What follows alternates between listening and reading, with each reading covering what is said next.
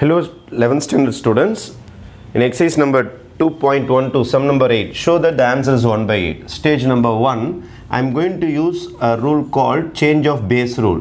Change of base rule என்ன ஆகும்னா 1 by log logarithmic number பேஸுக்கு வந்துடும் பேஸ் நம்பர் லாகர்தம் உள்ள போயிடும் அப்போ இப்படி ஆகிடும் A square base A change of base rule இதான் பேஸ் இங்கே into one by change of base rule use பண்ண போகிறேன் கீழே லாகர்தம் இறக்குனீங்கன்னா என்ன ஆகிடும்னா லாகர்தமிக் நம்பர் பேஸுக்கு வந்துடும் பேஸில் இருந்த நம்பர் லாகர்தம் கிட்ட போயிடும். B square into one by இதில் என்ன நடக்கும்னா உங்களுக்கு சேஞ்ச் ஆஃப் பேஸ் ரூல் உங்களுக்கு லாகர்தமிக் நம்பர் பேஸுக்கு வந்துடும் பேஸில் இந்த நம்பர் லாகர்தமில் போயிடும்.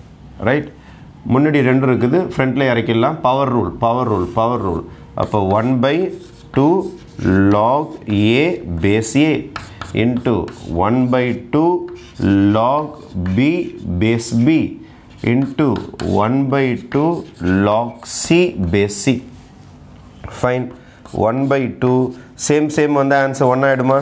மேலே. லாகர்தமிக் நம்பரும் பேஸு சேமாக வந்தால் one one by two base நம்பரும் லாகர்தம் நம்பரும் சேமாக வந்த answer one into one by two base நம்பரும் லாகர் நம்பரும் சேமாக வந்த ஆன்சர் ஒன் அப்போ your answer is one by eight and sprout. Okay? Thank you.